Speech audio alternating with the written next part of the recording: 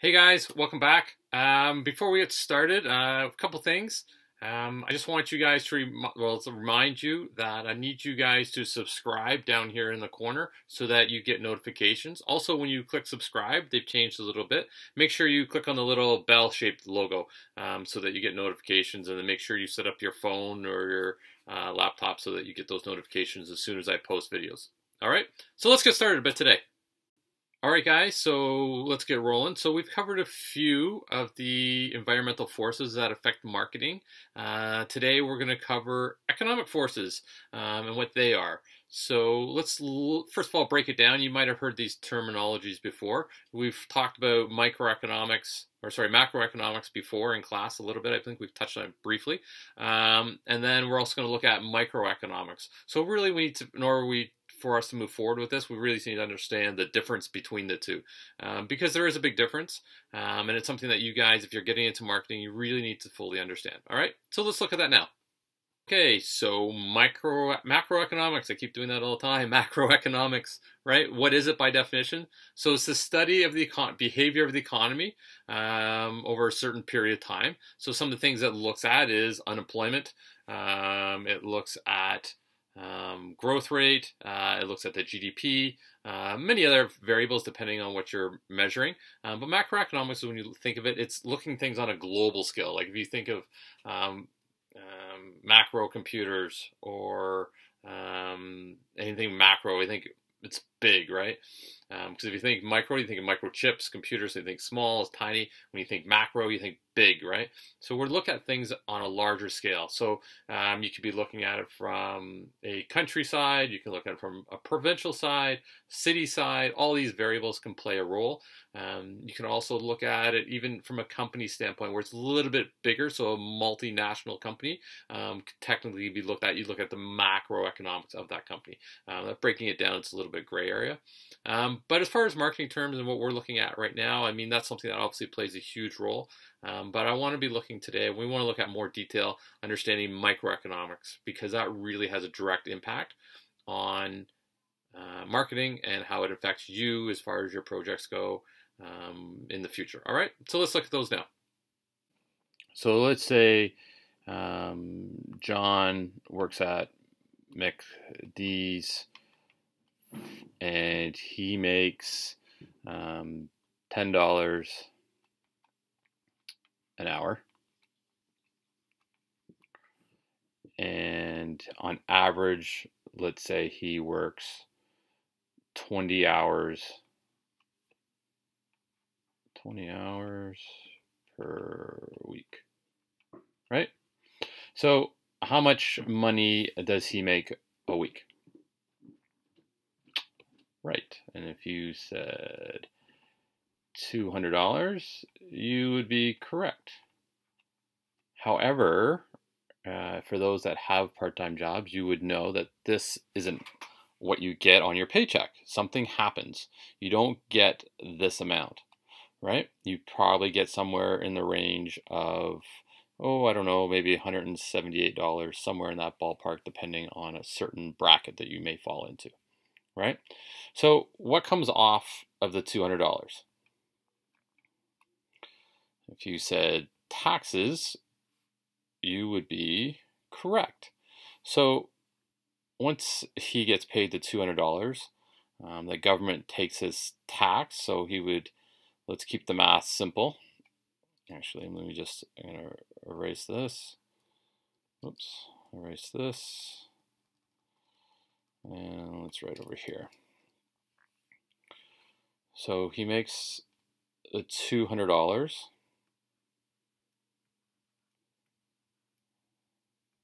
Right?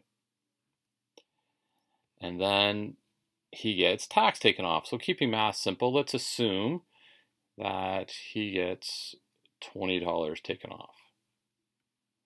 And that's income tax that some of you maybe have already taken off. But because you're students, you'll get it all back um, when it's time to do your tax return. so now, Johnny, who works at McDonald's, actually takes home $180. Right? We minus the $20. So now you think about what does Johnny have to pay? Johnny lives on his own. Uh, he drives a car uh, and he rents out a house, um, a basement apartment, because he's going to college. So what is the first thing Johnny has to pay? Well, if you said some of the things that he would need would be food. What else? Rent. Right? What else might he make? Gas for his car. And with that, with gas comes insurance. Right? Maybe payments because he didn't pay it outright, so he's got a loan going with the the uh, car. Um, what else would he need? Food, rent, gas, clothing. Right? Anything else? Yeah, bills with respects to, I mean, it could be numerous things. It could be credit cards, it could be uh, hydro. Um, what else could it be? Anything else with regards to bills? It could be any um, uh, loans, school loans. Loans, right? so all that. So let's assume. I mean, there's many others, but we'll just assume. I mean, we another one that I tend to forget all the time. That's really common right now. Is your phone bill right? That's a biggie. Let's call that what it is, right? Okay, so after all that's said and done, let's say that is equivalent to, oh, I don't know, $130 because that's quite a bit of things that he has to pay first before he does anything with regards to um, spending on anything else. So how much does he have left over? Right, if you said 50 bucks, right? Is what he has, Johnny has left over per week to spend on what? What would he spend that on? Right? So you could say he could maybe spend it on going to the movies, right? He could spend it on going on trips. Trips. Um, he could watch it um, maybe on streaming services, so which kind of ties into the movies, but could be separate. Here I was talking more about actually going to a brick and mortar movie theater, where here he would be downloading uh, movies because that's a big thing right now. So you wouldn't be streaming as much. Um, if you have any significant other, it could be gifts, right? Uh, and I mean that, and anything else basically that he feels that he would want, and that's a key word uh, to look at because it really helps define this. Because when you're looking at student um, management with regards to their income, um, this is something we always get confused, and this gets kind of gray area, right? Because a lot of times these things kind of slide into this category up here. So uh, I like to define it a little bit differently. Um, I like to look at it this way. This is a real easy way to do it. Needs, right? You need food. And some would argue you need your phone, but that's okay. Uh, you need to pay rent. You need to pay gas. Um, you need to have clothing. You need to have all those things. And really, it's needs versus wants. And I like using this because that really helps to define it, right? You want to go on go out to the movies. You want to go on a trip. You want to buy gifts maybe for your significant other or what have you. So this is really what defines it. And people that struggle um, with their own personal financial management is this is a very blurry area, right? If you think about yourself, right? Going to McDonald's five days a week is not a need as far as food goes. It's a want when there's probably lots of food uh, at home, right? So um, that's what we're going to look at, and we'll look at defining these a little differently in the next video. All right, so we've gone through the example now. Um, so let's look at it a little bit further and how it relates to this chart that economists use. It helps label things a little bit easier so that you understand how it ties into marketing really, really well. So Johnny, uh, in the example that we were used, uh, that we used, um, John makes uh, ten dollars an hour, and he worked twenty hours a week working at McDonald's. Right? Um, he thinks he's going to get paid two hundred dollars, but that's not the case. Right? So something happens to his paycheck. But first, we need to understand one thing. Right?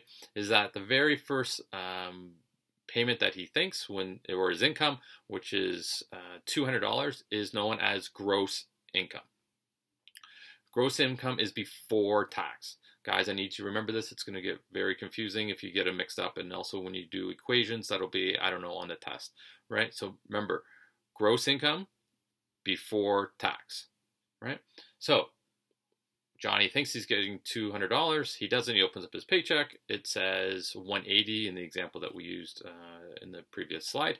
Um, so now he's left with $180. Well, now what's he need to pay it on? Well, he needs to spend it on food, shelter, uh, rent. I think we also used examples of phone, uh, gas for the car, anything that he has to pay, right? It comes out maybe on a monthly basis, or he has to, and something needs in order to survive, right? Clothing, etc., etc. Um, and that may change depending on uh, the person's lifestyle, um, but for the most part, that's what uh, he spends the money on. That's known as disposable income. So after Johnny pays for all that stuff, what's he left with? Well, he's left with the things that he wants to spend, right? So we gave examples of movies. We gave the examples of maybe streaming. We looked at gifts, anything that he wants to spend it on. It could be anything like new electronics, new phone case, new charger, um, some new lighting, a new computer, whatever he wants, right? And that's really important to understand when explaining the difference between the two. And again, it depends on the person's lifestyle. Well, when we look at the wants, economists look at and call that discretionary income. So discretionary uh, income is the wants, the things that you don't have to buy, right? You could even possibly choose to save it. Um, when you're in times of going into uh, a recession, you tend to want to hold back. You don't want to spend money on those trips. You may not want to buy a new bike. You may not want to buy a new computer, and the risk that you may need that money, because that's the challenge that marketers need to understand is depending on what your product or service is, which category does it fall into? Does it fall into discretionary income? Or disposable income. Which one of these? And when you're thinking about it, when you're going through a tough time in, an economy, when people are not spending as much, which one would get affected most? Right? Yeah, if you said discretionary income, you'd be correct. And that's where some companies need to struggle. You need to understand where the economy is as a whole so that when you're looking at your project or your assignment, how well it will do. Because if you're asking for money from the bank, it's important because they're going to ask you these and saying, how are you planning to survive? All right, so as a quick review, right? Needs versus wants. Um, it helps you define the two. So on a test, if I ask ask, you um, if Johnny bought a new car, um, where would that fall under? Would that fall under his disposable income or his discretionary income? If Johnny bought a new pair of shoes, would that be disposable or discretionary income? If Johnny went grocery shopping, would that be disposable or discretionary income, right? So make sure you know the difference between the two, and that's why I was like, it's the needs versus wants. All right. So there's a quick assignment on uh, D2L. So hit it up. Um, be careful. Be very careful numbers. There's a little bit of a trick in there. Take your time. Um, remember, gross income is before or after tax. Before, right? Disposable is after tax. So make sure you look at that. And also remember to hit that subscribe button uh, and click on the little notification bell so that you get notifications on new assignments uh, as they come up. Um, if not, I'll see you next week.